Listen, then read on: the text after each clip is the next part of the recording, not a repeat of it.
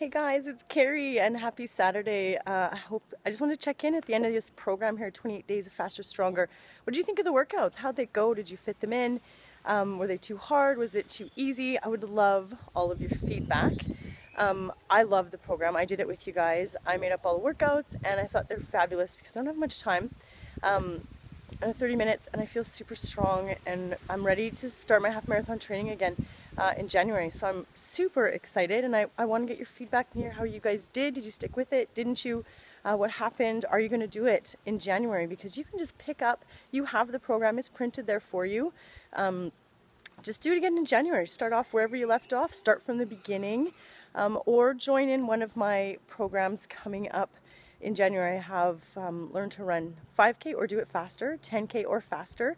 Um, and then I'm doing this challenge again, but it's going to be exactly the same workout, so you might not want to do that one. But um, I invite you guys to do any of those with me, and we're going to incorporate workouts like these into any of your faster 10K or faster um, 5K workouts. So it's not just an app with a running plan with the distances, it's actually going to be the workouts to make you faster and stronger, but not as intense as the 28 day because you're going to have days off and light days and more running easy days so that you have more rest for your body to recover over the three month period of the program.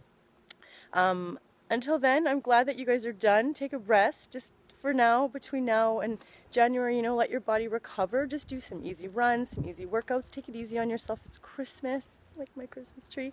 Um, and uh, enjoy. Take care. And I want all your feedback, you guys. So message me, post in the group, whatever, however you can get in touch with me. I want to hear. It's the only way I can make things better is if you tell me. Um, if I don't know something's wrong, I can't fix it. So let me know, you guys. I love running these programs. Um, I'm always available for questions, for Skype chats. Just let me know.